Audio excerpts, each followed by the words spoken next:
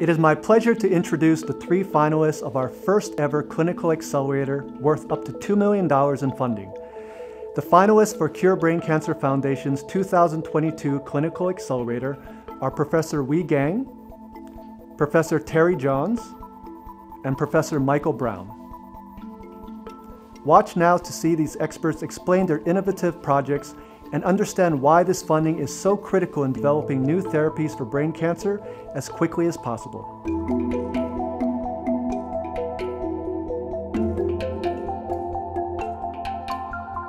Our project is looking to take two drugs that we've been working on and combining them to examine how's the best way to use them in patients and then to take this information and design a clinical trial for patients.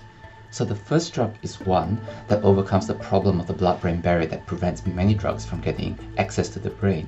We actually trick the body's own uh, defenses to take the drug into the tumor, and that way the drug can then kill the tumor cells using its radioactivity.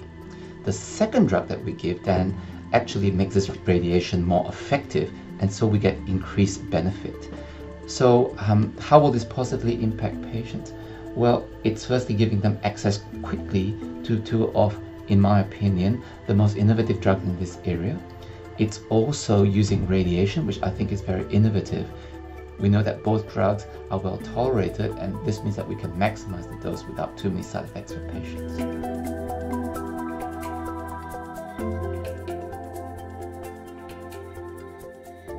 A patient's own immune cells can be genetically enhanced in the laboratory becoming CAR T cells.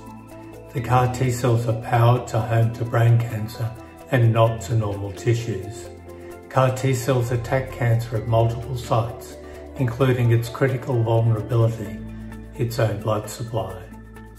Using surgical specimens and animal models, we will target aggressive brain cancer and in a sustained and lethal immune attack, destroy it.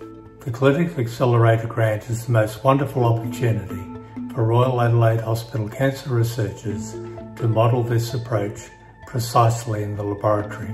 Then later it can be transferred safely and effectively to the clinic.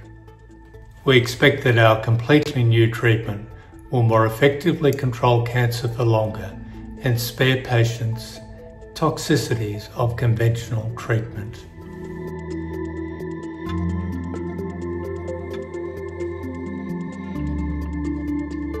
So we're working with a company called Patrys on a unique antibody called um, PAT-DX1. This antibody is very unusual in, in that it can go across the blood-brain barrier into the brain tumour, get into the cells and stop them repairing DNA damage. Now cancer cells have a lot of DNA damage, so stopping them repairing it can lead them to die very rapidly. We can further enhance this by treating the cells or the patient with radiotherapy and causing extra DNA damage, therefore the antibody becomes more effective.